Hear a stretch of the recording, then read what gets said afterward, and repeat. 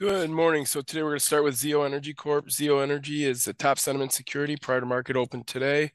Uh, then uh, Battalion Oil Corp is next. So others we have on here, we have Nike on here. Uh, Leafly Holdings is on there. Meritage Homes is on there. Caterpillar, those some other names that are on the most positive sentiment list prior to market open today. Uh, FedEx bottom, FedEx Skechers, Progyny, Vanda Pharmaceuticals, Oklo, UPS is on the negative list. So these are securities that people are talking a lot more negatively about relative to their 20 day be- benchmark. Then we got the short squeeze. So these are securities that people are talking about squeezing.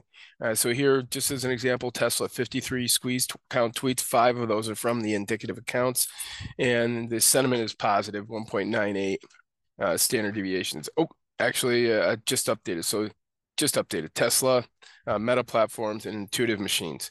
Trump Media is on there too, as well as for the, as well as for the uh, short squeeze sentiment. All right, everybody, have a blessed day and a great weekend.